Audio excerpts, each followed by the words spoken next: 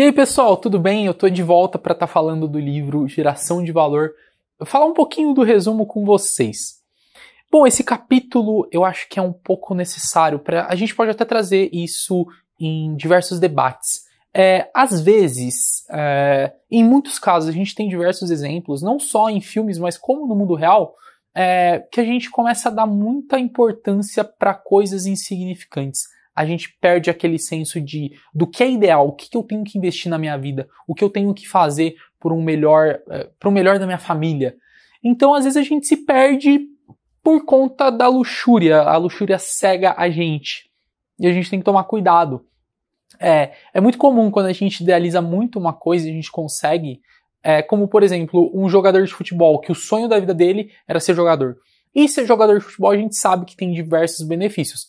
Caso você jogue num clube grande, você tem um bom empresário, você tenha patrocinadores, e muitos jogadores eles mudam né, o comportamento deles. Eles passam a se contentar mais com lazer do que com o próprio esporte, com o comprometimento que eles têm com o clube e com diversas pessoas.